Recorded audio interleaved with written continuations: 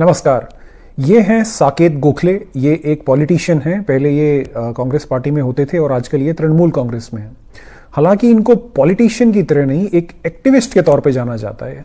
क्यों? क्योंकि ये जो कॉमरेड्स होते हैं, भले ये किसी पॉलिटिकल पार्टी के एक्टिव मेंबर्स क्यों ना हो, इनको हमेशा activist poet, crusader, student student activist anti fascist इस तरह के नामों से जाना जाता है। वहीं पर अगर कोई आम आदमी, जिसका किसी पॉलिटिकल पार्टी से दूर दूर तक कोई कनेक्शन ना हो, जिसने कभी कोई इस तरह की ऑर्गेनाइजेशन अटेंड नहीं की हो, वो आम आदमी अगर इनको कभी क्वेश्चन करता है तो उसको तुरंत पलट के बीजेपी बीजेपी आईटी सेल बोल दिया जाता है। चलिए, कोई नहीं। गोखले साहब एक एक्टिविस्ट हैं, इन्होंने इनका एक्टिविज्म जो है वो आरटीआई के थ्रू इन्होंने किया। इन्होंने बहुत सारी एक के बाद एक आरटीआई डाली सेंट्रल गवर्नमेंट से कुछ इन्फॉर्मेशन निकाली। उसके बेसिस पे इन्होंने उनको एक्सपोज किया और उस वजह से काफ़ी इनके चर्चे हुए। और उसी के आधार पर इन्होंने जो है क्राउड फंडिंग करवाई अपने सपोर्टर्स के थ्रू इन्होंने कहा कि भाई मैं ये सब करता हूँ और मुझे इसके लिए आप सपोर्ट कीजिए मुझे इसके लिए पैसे की ज़रूरत है। और क्राउड फंडिंग कराते समय इन्होंने जो ट्वीट किए थे इन्होंने उसमें साफ़ साफ़ कहा था कि जो भी पैसा आप मुझे दे रहे हैं मैं उसका हिसाब किताब आपको दूँगा। ये उनका ट्वीट है आप देखिए। तो आ, उसके बेसिस पे इनको जो है काफ़ी पैसा मिला। साथ में मोर पावर टू यू और लगे रहो साकेत और इस तरह के मैसेजेस के साथ साथ जो है इन्होंने करीब 70-80 लाख के आसपास बना लिए। और वो पैसा आने के कुछ टाइम के बाद जो है ये मुकर गए। इन्होंने कहा कि नहीं मैंने तो ऐसा कभी नहीं कहा था कि आ, मैं इन पैसों का हिसाब किताब दूँगा। ये तो मेरे अपने खर्चे के लिए पैसे थे। एक तरह की सैलरी थी कि भाई मैं एक्टिविज्म करता हूँ इसलिए मैं कोई और जॉब नहीं कर पाता। तो इसलिए ये पैसे मेरी महीनों की आ, कमाई है। तो साकेत गोखले कोई पहले व्यक्ति नहीं है जिन्होंने ऐसा किया, ना ही वो आखिरी होंगे। इसके अलावा राणा अयूब एक जर्नलिस्ट हैं जिन्होंने कोविड सेकेंड वेव के दौरान लोगों की मदद करने के नाम पर करोड़ों रुपए का डोनेशन उठाया था और बाद में वो खर्च भी नहीं कर पाई। उस पैसे का क्या हुआ? वो हिसाब किताब भी उनसे देते नहीं बना, उनके अगेंस्ट अभी इंक्वायरी चल रही है। सो कॉमरेड कॉमरेड को लूटता है तो मुझे तो इसमें कोई ऑब्जेक्शन वाली बात नहीं है बट मैं ये एग्जाम्पल्स लेके और साथ में कुछ और एग्ज़ाम्पल लेके एक लार्जर पिक्चर आपके सामने रखना चाहता हूँ। वो ये है कि डोनेशन और क्राउड फंडिंग एक बिज़नेस बनकर रह गया है। आप सबको याद होगा, जब भारत में सेकेंड कोविड वेव आई थी तो बहुत बुरा हाल हुआ था। चाहे आप हेल्थ सर्विसेज़ ले लो, चाहे आप एडमिनिस्ट्रेटिव सर्विसेज़ ले लो, चाहे रिसोर्सेस ले लो ऑलमोस्ट सभी ओवरवेलम हो गए थे और लोगों को बेड्स नहीं मिल रहे थे ऑक्सीजन नहीं मिल रहा था, बड़े सारे लोगों ने हॉस्पिटल के बाहर दम तोड़ा, लोगों ने घर पे दम तोड़ा एंबुलेंस नहीं मिल रहा ऑक्सीजन सिलेंडर नहीं मिल रहा। सो so, ऐसे टाइम में लोगों की सोशल मीडिया वॉल के ऊपर एक एड दिखना शुरू हुआ। उस एड में ये वाली इमेज यूज़ हो रही थी और साथ में कैप्शन था हेल्प इंडिया ब्रीथ अब किसी भी देश में दो तरह के लोग होते हैं। पहले जो कि इस क्राइसिस सिचुएशन में ब्लेम गेम टॉन्टिंग या इसी तरह की चीज़ें करते रहते हैं। और दूसरा एक ग्रुप होता है जो कि इस चीज़ को टेम्परली बैक सीट पे रख के पहले चाहता है कि वो कंट्रीब्यूट करे, वो हेल्प करे किसी तरीके से। उसके, उस आँखों के सामने सब बिखरता हुआ देख रहा है ही वॉन्ट्स टू हेल्प सो ऐसे लोगों को ये एड बहुत अपीलिंग लगा और साथ ही साथ इसको, इसी इसी एड को, इसी इमेज को और इसी क्राउड फंडिंग को बहुत सारे सोशल मीडिया इन्फ्लुएंसर्स ने भी प्रमोट किया था और लोगों से अपील की थी कि प्लीज़ डोनेट करो help India breathe so so, um, इस क्राउड फंडिंग का पहले जो गोल था वो ये था कि 1.8 करोड़ रुपीस जमा किए जाएँगे। जैसे ही 1.8 करोड़ का टारगेट पूरा हुआ क्योंकि लोगों ने दिल खोल के डोनेट किया इसमें। जैसे ही टारगेट पूरा हुआ 1.8 का इन्होंने उसको बढ़ा के थ्री करोड़ कर दिया टारगेट को उसी दिन। जैसे ही तीन करोड़ का टारगेट पूरा होने वाला था उन्होंने इसको बढ़ा के फाइव पॉइंट समथिंग करोड़ कर दिया। और तब लोगों की जो है कान खड़े होने शुरू हुए कि ये तो गड़बड़ है, ऐसा तो नहीं होता है। और जब तक किसी को कुछ समझ में आता इस ऑर्गेनाइजेशन ने करेक्ट एस्टिमेट तो कोई नहीं बता सकता, लेकिन बहुत सारी रिपोर्ट्स के हिसाब से 70 से लेकर 200 करोड़ के रुपए के बीच में इन्होंने पैसा बनाया और ले गए। तो ये सब हो जाने के बाद आ, कुछ मीडिया हाउसेस ने इसको इन्वेस्टिगेट किया तो उन्होंने पाया कि ये क्राउड फंडिंग ऑर्गेनाइज की थी एक एनजीओ ने जिसका नाम है इमाना। इमाना का फुल फॉर्म है Islamic Medical Association of North America तो बेसिकली ये एक एनजीओ है यूएस बेस्ड जो कि मुस्लिम डॉक्टर्स मुस्लिम डेंटिस्ट और मुस्लिम हेल्थ केयर वर्कर्स की एसोसिएशन से बनी है। और ये लोग काम करते हैं मुस्लिम पेशेंट्स की बेहतरी के लिए। यहाँ पर मैं साफ़ साफ़ कहना चाहूँगा कि ये मेरा ओपिनियन नहीं है मैं बनाकर नहीं कह रहा हूँ। ये इमाना की वेबसाइट पे आज भी लिखा हुआ आप खुद जाके देख सकते हैं। लिंक वीडियो डिस्क्रिप्शन में है। सो so, ये एक मुस्लिम ऑर्गेनाइजेशन है एनजीओ है जो कि मुस्लिम पेशेंट्स के लिए काम करती है। इनका इंडिया में कोई ऑफ़िस नहीं है कोई ब्रांच नहीं है इनका इंडिया से कोई लेना देना नहीं है बट इन्होंने इंडिया से करोड़ों लगभग 200 करोड़ के आसपास हेल्प इंडिया ब्रीथ के नाम पे जमा किए और लेकर चलते बने। इमाना को एस्टेब्लिश किया गया था 1967 में। It was a branch of ISNA Islamic Society of North America ISNA को 2017 में कैनेडियन अथॉरिटीज ने बैन किया है for terror funding Canadian authorities ने यह पाया कि इसना जो कि इमाना की पेरेंट ऑर्गेनाइजेशन है, वो जम्मू एंड कश्मीर में जमायत इस्लामी के थ्रू टेरर फंडिंग कर रही थी। इसके लिए कैनेडियन अथॉरिटीज ने इनको बैन किया है। इमाना और इसना का पाकिस्तानी आर्मी के साथ भी लेना देना है। इनका, उनके साथ कनेक्शन है। अगेन इंडिया में इनका कोई ऑफ़िस नहीं है, कुछ नहीं सो so, ये सारी चीज़ें सामने आने के बाद जब मीडिया हाउसेस ने इमाना के डायरेक्टर को अप्रोच किया उनका व्यू जानने के लिए तो उन्होंने बड़े वेग से रिप्लाई दिए कि भाई हमने इंडिया के डिफरेंट हॉस्पिटल्स को इतने ऑक्सीजन सिलेंडर पहुँचाए इतने ऑक्सीजन कॉन्सेंट्रेटर पहुँचाए इतने फेस मास्क पहुँचाए वगैरह वगैरह। इनमें से किसी का भी उनके पास कोई डॉक्यूमेंट्री प्रूफ अवेलेबल नहीं है कोई डॉक्यूमेंटेशन नहीं है। आप इमेजिन कीजिए 200 करोड़ के आसपास आपने फंडिंग उठा ली है आपके पास कोई डॉक्यूमेंटेशन ही नहीं है ये सब चीज़ें प्रूव करने का। खैर इमाना कोई पहली ऑर्गेनाइजेशन नहीं थी जो सेकेंड वेव के टाइम पर पैदा हो गई अचानक से और उसने इस तरह की और भी ऑर्गेनाइजेशन हैं, मैं नाम नहीं लेना चाहता क्योंकि उसमें से कुछ इंडियंस भी हैं और लोग ऑफेंड हो जाते हैं। खैर आप खुद समझदार हैं। तो आगे मैं आपको बताऊँगा कि ऐसा कैसे कर लिया जाता है, कैसे लोगों को बेवकूफ़ बना दिया जाता है। देखिए, जैसे ही देश में कोई क्राइसिस सिचुएशन क्रिएट होती है, वो क्राइसिस रियलिस्टिक भी हो सकता है परसीव्ड भी हो सकता है। सेकेंड वेव जैसे एक रियलिस्टिक क्राइसिस था परसीव्ड मतलब कि आप ऐसा माहौल क्रिएट कर दो कि सिस्टम जो है वो कोलैप्स हो रहा है डेमोक्रेसी खतरे में है हमें आपको ही मिलकर कुछ करना पड़ेगा देश तो बर्बाद हो रहा है। सो so, ये सिचुएशंस क्रिएट की जाती हैं आपके दिमाग में कि भाई आ, कुछ गड़बड़ है। तो so, जब ये क्राइसिस सिचुएशन क्रिएट होता है तो फिर लोगों तक रिस्पॉन्सिबिलिटी देने की कोशिश की जाती है कि अब हमें और आपको मिलकर कुछ करना पड़ेगा मैं आपका लीडर हूँ मैं करूँगा आप मेरे हाथ मज़बूत करें। सो so, ये वाला जब सिनेरियो क्रिएट हो जाता है तो उसके बाद क्राउड फंडिंग की शुरुआत की जाती है। तो जो इमाना ने किया वो ये था कि उन्होंने सोशल मीडिया एड्स का यूज़ किया। सोशल मीडिया एड्स क्या होते हैं? अगर आपके पास कोई पेज है, आपका पेज है, कुछ फेसबुक पेज है इंस्टाग्राम पेज है, या ट्विटर अकाउंट है सो आप कोई भी चीज़ जब आप उस पर डालते हो तो आप उसको प्रमोट कर सकते हो।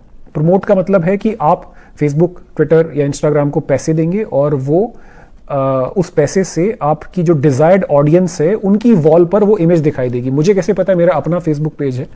तो आप देखिए मैं एक एग्जांपल के साथ दिखाता हूँ आपको कि ये मेरा पोस्ट है। इसके नीचे ये जो टैब का बटन आ रहा है एक ब्लू कलर का बटन है उस पर लिखा हुआ है बूस्ट बूस्ट पोस्ट जब मैं इस बूस्ट पे क्लिक करता हूँ तो मेरे सामने एक लंबा चौड़ा डिस्क्रिप्शन आ जाता है कि आप ये पोस्ट कितने लोगों को दिखाना चाहते हैं किस एज ग्रुप वालों को दिखाना चाहते हैं आ, उनके इंटरेस्ट क्या है? अगर आप एक सिलेक्टेड ऑडियंस को टारगेट कराना चाहते हो तो यूजुअली ये लोग टारगेट करते हैं वे लोग जो एन में बिलीव करते हैं केटो मिलाप में बिलीव करते हैं डॉग लवर हैं ह्यूमैनिटी में बिलीव करते हैं तो ऑडियंस सेलेक्ट करते हैं एज ग्रुप सेलेक्ट करते हैं आ, आ, कितना पैसा खर्च करना चाहते हैं वो सेलेक्ट करते हैं और वो पर्टिकुलर एड जो है उसके बाद उन लोगों की वॉल पे दिखने लगता है।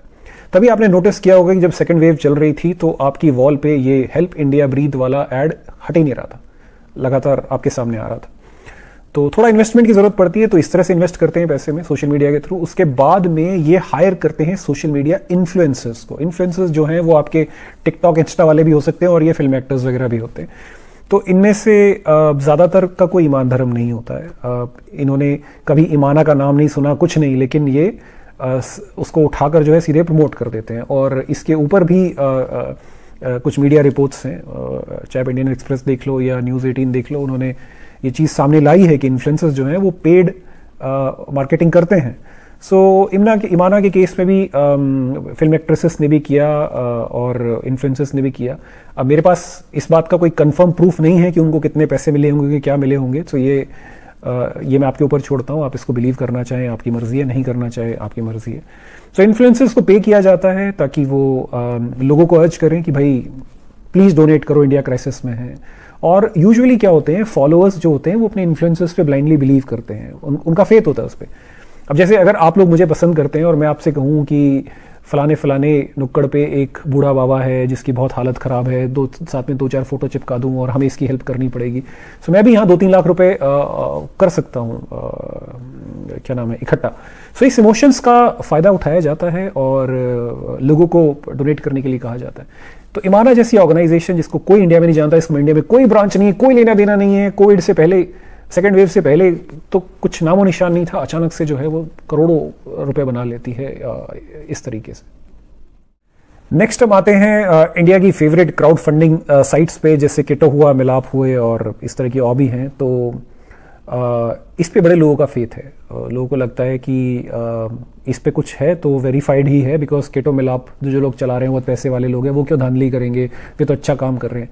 तो आ, मैं थोड़ा डिटेल में गया इसके। कीटो का मैंने टर्म्स एंड कंडीशंस पढ़े। आ, बहुत लंबा है अगर आप पढ़ने बैठोगे तो काफ़ी टाइम लग जाएगा आपका बट मैंने पढ़ा फिर भी। सो so, अगर आप टर्म्स एंड कंडीशंस पढ़ते हैं तो वहाँ साफ़ साफ़ लिखा हुआ है कि अगर कोई क्राउड फंडिंग के लिए अपील कर रहा है और साथ में वो डॉक्यूमेंट्री प्रूफ दे रहा है। जैसे कोई कह रहा है कि भाई मेरी बीवी की हालत बहुत ख़राब है और आप ही उसको बचा सकते हैं, ये रहे उसके मेडिकल डॉक्यूमेंट तो उस मेडिकल डॉक्यूमेंट की ऑथेंटिसिटी की responsibility purely purely purely campaigner के ऊपर होती है। केटो की या मिलाप की कोई रिस्पॉन्सिबिलिटी नहीं है। कल को डॉक्यूमेंट फर्जी निकलते हैं तो आप केटो या मिलाप को क्वेश्चन नहीं कर सकते। उनका यह कहना है कि हम तो मेयरली प्लेटफॉर्म दे रहे हैं इनका रिस्पॉन्सिबिलिटी है जो कैंपेन करवा रहे हैं कि आप ऑथेंटिक चीज़ें प्रमोट कर चीज़ें जो हैं डालें हमारी वेबसाइट पे ऑथेंटिक डॉक्यूमेंट्स दें ऑथेंटिक केस दें और साथ साथ जो है वो डोनर्स को भी एडवाइस कर रहे हैं कि आप भी जो है सोच समझ के करें, हमारी कोई रिस्पॉन्सिबिलिटी नहीं है। तो भैया इंडिया है। यहाँ पर तो फेक आधार कार्ड भी बन जाते हैं फेक वोटर कार्ड भी बन जाते हैं अंदर की फेक डिग्रीज भी बन जाती हैं तो फेक मेडिकल डॉक्यूमेंट कौन सी आ, बड़ी चीज़ है? तो इसलिए केटो मिलाप पे जो है दुनिया भर के फर्जी केस आ, डाले जाते हैं। आ, कोई भी मेडिकल डॉक्यूमेंट कहीं से भी किसी हॉस्पिटल का इतने ऐसे कितने सारे केसेस आए हैं। कुछ केसेस में आ, तो जो है जिस हॉस्पिटल का नाम डाला है वो हॉस्पिटल एग्जिस्ट नहीं करता है। जिस पेशेंट का जिस पेशेंट का नाम डाला है अपने हॉस्पिटल फ़ोन किया वो पेशेंट ही एग्जिस्ट नहीं करता है। तो ऐसे में सवाल उठने तो लाजमी है। एक और चीज़ आपने नोटिस की होगी कि ये जो क्राउड फंडिंग प्लेटफॉर्म्स होते हैं, ये पेड प्रमोशंस भी करते हैं। आप यूट्यूब चला के देख लो, कोई भी वीडियो उसके स्टार्टिंग में जो ऐड आता है मैक्सिमम केसेस में वो केटो मिलाप का ऐड होता है और उसको बड़े आर्टिस्टिक तरीके से बनाया जाता है। उसमें बैकग्राउंड म्यूज़िक के साथ दर्द भरा म्यूज़िक होता है, जो कैमरा एंगल होता है, जो लाइंस बोली जाती हैं पेशेंट्स द्वारा, उसमें बहुत ही गरीबी और लाचारगी दिखाई जाती है उसमें। आप मजबूर हो जाते हो डोनेट करने के लिए। सिर्फ़ इतना ही नहीं इनफैक्ट सोशल मीडिया जो इन्फ्लुएंसर्स होते हैं उनको भी किटो मिलाप के लिंक पोस्ट करने के लिए लोगों से क्राउड फंडिंग अपील करने के लिए पैसे दिए जाते हैं। सो so, अगर आप एक क्राउड फंडिंग वेबसाइट चला रहे हैं ह्यूमैनिटेरियन ग्राउंड पे तब तो मुझे समझ में नहीं आता कि आप एडवर्टीजमेंट में इतना पैसा क्यों फूक रहे हैं। बट uh, ऐसा नहीं है। किटो मिलाप जो है वो एक फॉर प्रॉफिट प्लेटफॉर्म्स हैं और जो भी क्राउड फंडिंग होती है, उसका अनलेस वो डिसाइड करें कि इस वाली क्राउड फंडिंग में हम पैसे नहीं काटेंगे मैक्सिमम क्राउड फंडिंग्स में इन क्राउड फंडिंग प्लेटफॉर्म्स का अपना कट होता है, अपना पैसा होता है। तो जब आप अर्न कर रहे हो एक क्राउड फंडिंग प्लेटफॉर्म से तो आपकी रिस्पॉन्सिबिलिटी बनती है कि उस वेबसाइट पे जो पोस्ट किया जा रहा है, वो ऑथेंटिक हो। जबकि इन्हीं वेबसाइट्स की, के के डिस्क्लेमर्स में लिखा जाता है क्लियरली कि जो भी चीज़ें यहाँ पोस्ट की जा रही है, उसकी रिस्पॉन्सिबिलिटी सिर्फ़ और सिर्फ़ कैंपेनर के ऊपर है। प्लेटफॉर्म की कोई रिस्पॉन्सिबिलिटी नहीं है। तो कल को कोई जो है कोई क्या होता है फर्जी डॉक्यूमेंट डाल के फर्जी चीज़ें लगा के जो है इमोशनल अपील करके लोग पैसे बना लेते हैं और आपको रियलाइज़ भी नहीं होता। तो अब हम आते हैं सॉल्यूशन के ऊपर कि अब किया क्या जाए। आ, मेरा ये वीडियो बनाने का मकसद ये बिल्कुल नहीं है कि मैं लोगों को डिस्करेज करूँ डोनेशन के लिए ऐसा बिल्कुल नहीं है। मैं आ, चाहता हूँ कि आप का पैसा वाकई किसी गरीब के काम आए किसी मजबूर के काम आए बजाय इसके कि उसको कोई लूट रहा हो कोई पैसे वाला आदमी जिसके पास ऑलरेडी पैसा है, कोई स्कैमस्टर है, कोई इस तरह का व्यक्ति है। क्योंकि इसके दो नुकसान होते हैं। एक तो जिस गरीब के लिए वो पैसा आपने भेजा था, उस तक पहुँचा नहीं। और दूसरा, कल को जब ये स्कैम सामने आता है तो ये सबको पता चलता है। और उससे वे लोग जो वाकई किसी की हेल्प करना चाहते हैं, वो भी डिस्करेज होते हैं। तो एक सोसाइटी के तौर पे भी नुकसान होता है, एक इंडिविजुअल के तौर पे भी नुकसान होता है। सो so, आप अपना पैसा अगर आप किसी गरीब के या किसी मजबूर के यहाँ लगाना चाहते हैं तो ये आप ही की रिस्पॉन्सिबिलिटी बनती है कि आप इंश्योर करो कि वो सही जगह पहुँच रहा है ना कि किसी और की जेब में। अगर आप किसी के मेडिकल रिलेटेड चीज़ों के लिए डोनेट करना चाहते हैं तो आप थोड़ा सा एफर्ट डालें। मेडिकल डॉक्यूमेंट्स चेक करें फ़ोन नंबर मांगें और बातें करें मेडिकल हिस्ट्री निकालें कौन डॉक्टर ट्रीट कर रहा है उस हॉस्पिटल के बारे में नेट पे सर्च करें उस डॉक्टर के बारे में नेट पे सर्च करें। ये सब जानकारी पता लगाना कोई बड़ी चीज़ नहीं होती। उसके बाद ही अगर आप डोनेट करें तो आप ज़्यादा सेफ़ रहेंगे। उसके बाद क्राउड फंडिंग वेबसाइट्स पे डोनेट करना ही क्यों है? अगर आप वाकई कुछ ह्यूमैनिटेरियन चीज़ें करना चाहते हैं तो हर व्यक्ति क्यों ना अपने आसपास लोगों की हेल्प करे? आपके, आपकी मेड हुए, आपके ड्राइवर हुए, आपके सर्वेंट आसपास गरीब लोग, आपको दुनिया भर के गरीब लोग मिल जाएँगे। अपने शहर से बाहर निकलिए, थोड़ा सा आगे कोई झोपड़ी जाके अडॉप्ट कर लीजिए, कोई किसी स्कूल में गरीब बच्चे अडॉप्ट कर लीजिए। और जब आप अडॉप्ट करते हैं, ये चीज़ मैं बताना चाहूँगा कि आप किसी गरीब बच्ची की एजुकेशन अडॉप्ट करते हैं तो कभी भी कैश मनी ना दे स्कूल को या या किसी को भी कि स्कूल बोले कि इस बच्चे का खर्चा बारह हज़ार है तो आप हर महीने बारह हज़ार पकड़ा रहे हैं, ऐसा नहीं है। आप बुक स्पॉन्सर करें स्टेशनरी स्पॉन्सर करें यूनिफॉर्म स्पॉन्सर करें, हर चीज़। बोलो, मुझे बिल दो, मैं पे करूँगा। सो अपने आसपास की लोकल एन को डोनेट करें जिन पे आप ट्रस्ट करते हो। वे एन जो कभी ऐड नहीं करती हैं, जो कभी आपके पीछे नहीं भागती हैं, आपसे ज़बरदस्ती कॉल कर करके आपसे पैसे नहीं मांगती, जो वाकई काम कर रही हैं सेल्फलेसली काम कर रही हैं, उनको डोनेट करें या खुद अपने आसपास जाके लोगों की हेल्प करें। और अगर आपको क्राउड फंडिंग के थ्रू डोनेट करना ही है तो कम से कम वेरीफाई करें। कोई भी चीज़ सिर्फ़ ग्लैमरस है एक अच्छी इमेज पोस्ट कर दी है, साथ में इंग्लिश कैप्शन है, और आपके फेवरेट इन्फ्लुएंसर्स उसको प्रमोट कर रहे हैं तो आपको जज्बा आ जाता है कि मैं भी करूँगा, नहीं, ऐसा ना करें। आपका पैसा है डूब रहा है या किसी गरीब के काम आ रहा है आपका पैसा है मुझे प्रॉब्लम नहीं होनी चाहिए। लेकिन मेरा सिर्फ़ वीडियो बनाने का मकसद यही है कि अगर आप कोई ह्यूमैनिटेरियन काम करना चाहते हैं तो क्यों ना आपका पैसा वाकई ह्यूमैनिटेरियन वाले काम में जाए बजाय किसी जालसाज की जेब में। सो so, यही इस वीडियो को बनाने का मकसद था। लास्ट में एक रिक्वेस्ट और है आपसे कि प्लीज़ इस वीडियो के डिस्क्रिप्शन को ज़रूर पढ़िएगा। थैंक यू वेरी मच जय हिंद।